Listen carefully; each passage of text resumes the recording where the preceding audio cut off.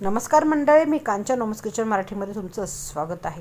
आपण आज बघणार स्वीटची रेसिपी ही रेसिपी खूप कमी सामानात खूप कमी वेळेत आणि खूप कमी खर्चामध्ये रेडी होते. त्याचबरोबर खाण्यासाठी खूप क्रीमी बनते. कोणी म्हणणारच नाही की ही रेसिपी आपण घरी बनवणार आहे.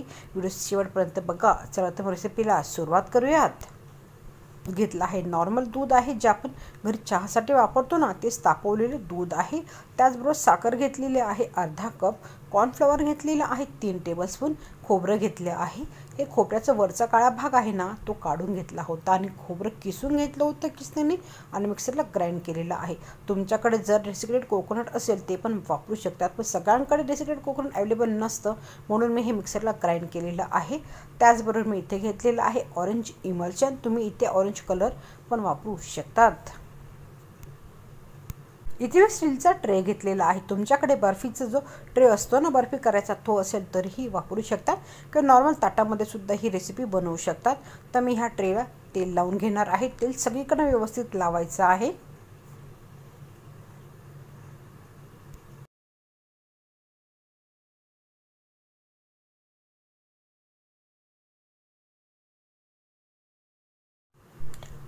ट्रेला तेल लावून झालेलं आहे. आता त्यात टाकत आहे खोबरं.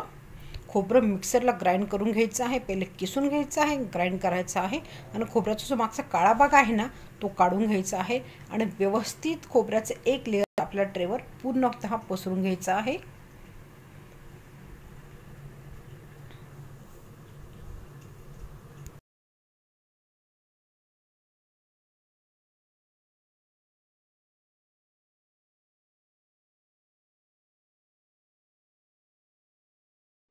एक वाटी घेतलेली आहे आणि खोबरं जे आपण ट्रेमध्ये टाकलं आहे ना ते व्यवस्थित आपल्याला प्रेस करून घ्यायचं आहे. तुम्ही बघू शकतात ह्या प्रकारे.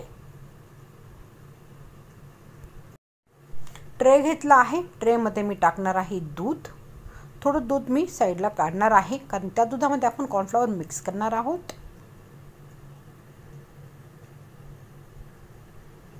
दूध गॅसवर ठेवलेलं आहे त्यात टाकत आहे साखर. साधारणतः तीन टेबलस्पून साखर इथे पुरेशी आहे. तुम्हाला जास्त गोड आवडत असेल तर तुम्ही जास्त पण साखर टाकू शकतात.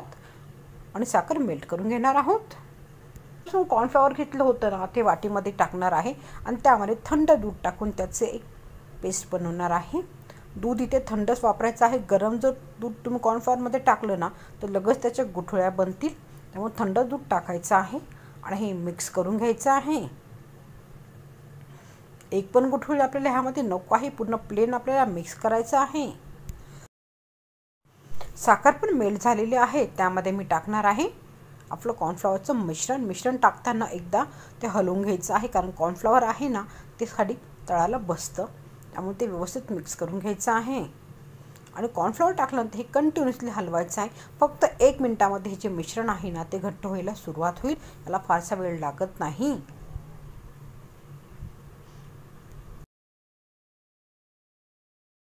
आपलं जे मिश्रण आहे ना छान शिजलेलं आहे. तुम्ही ते बघू शकता. स्पॅच्युलर जे मिश्रण आहे ना ते चिटकत आहे. जास्त घट्ट पण आपल्याला मिश्रण नको आहे. जेव्हा स्पॅच्युलरला हात लावतो ना तर आरामशीर त्यात एक क्रेश पडते. बघा असंच एवढंच मिश्रण आपल्याला शिजवायचं आहे. घेतलेलं आहे त्यात टाकत आहे व्हॅनिलेसनचे दोन ते तीन थेंब. हे मिश्रण थंड झाल्यावर अजून घट्ट होईल. मिक्स करून घ्यायचं आहे. गरमच आहे. आता ह्या साईडला आपण ह्यामध्ये हे पसरून घेणार आहोत. मिश्रण पूर्ण थंड करायचं नाही आहे. कारण जर का थंड केलं तर ते घट्ट होईल आणि घट्ट झालं तर ते व्यवस्थित ट्रेवर सेट होणार नाही. तर थोडं गरम असतानाच आपल्याला ते ट्रेमध्ये टाकून पसरवायचं आहे. तुम्ही बघू शकतात. इझिली ते स्प्रेड होत आहे.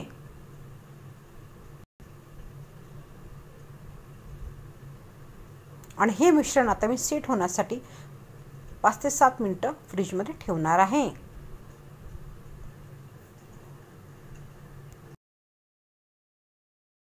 अर्धा कप इथे व्हिपिंग क्रीम घेतलेलं आहे.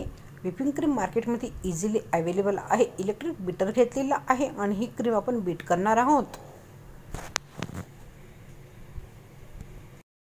व्हिपिंग क्रीम थोडी बीट झालेली आहे. त्यात टाकत आहे पिठी साखर.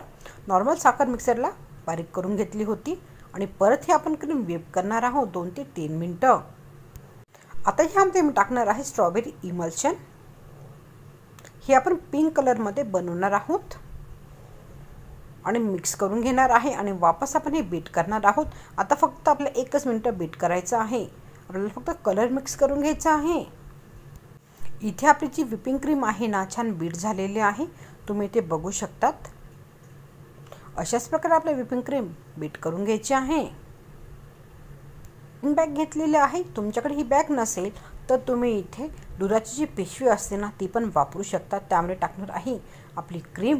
याला मी नोझल लावलेला नाही आहे.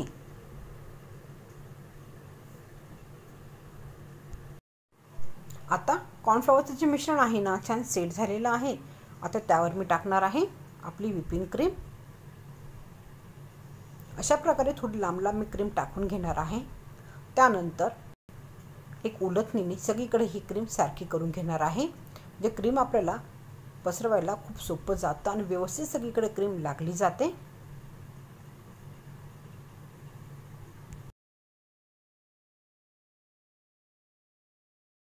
एक लाकडी चमचा घेतलेला आहे आणि त्याने जी आपली क्रीम आहे आम्ही सगळीकडे पसरवून घेत आहे. हा चमचा नसेल तर तुम्ही ते उलटणीचा पण वापर करू शकतात आणि व्यवस्थित सगळीकडे क्रीम पसरून घ्यायची आहे. क्रीम आपली छान स्प्रेड झालेली आहे तुम्ही इथे बघू शकतात. आता त्यावर मी टाकत आहे परत खोबऱ्याची एक लेअर आणि हे डेझर्ट मी आता फ्रीजमध्ये ठेवणार आहे. एक दहा ते पंधरा मिनटासाठी. दहा ते पंधरा मिनटामध्ये आपलं डेझर्ट खाण्यासाठी रेडी होईल.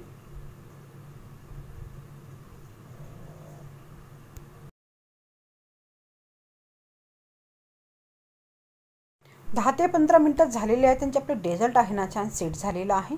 तर उलटणीने मी हे कापून घेत आहे. तुमच्या आवडीनुसार तुम्ही ते पीस छोटे किंवा मोठे बनवू शकतात.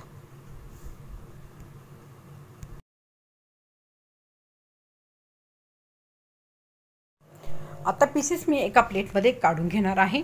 आणि बाकीचे जे पीसेस आहेत ना त्याची मी रोल बनवणार आहे. कारण रेसिपीचं नाव आहे तुर्किश डिलाईट रोल पण मला फायनली हे असेच कट केलेले पीसेस प्लेटमध्ये टाकून खायला आवडतं बिना रोल करता. माझ्याकडं आहे छोटे गोल्डन साखरेचे स्प्रिंकल्स ते मी आता डेझर्टवर टाकणार आहे. तुमच्याकडे काजू बदाम असेल किंवा पिस्तं असेल ना ते त्याची कतरण करून म्हणजे बारीक कापूनसुद्धा ह्यावर टाकू शकतात. इथे मी पिस्ते पण टाकत आहे. आता हे आपलं डेझर्ट आहे ना खाण्यासाठी रेडी आहे. तर चला तर मंडळी इथे आपले तुर्की डिलाईट खाण्यासाठी रेडी झालेलं आहे. आणि खरंच हे खूप टेस्टी आणि यम्मी बनलेलं आहे. साहित्य पण खूप कमी लागलेलं आणि वेळ पण. तुम्ही रेसिपी घरीच जरूर ट्राय करा. व्हिडिओ कोणत्याही कारणाने आवडला तर लाईक आणि शेअर जरूर करा. आणि माझ्या चॅनलला सबस्क्राईब करायला विसरू नका. नवमीच किचन बघितल्याबद्दल धन्यवाद.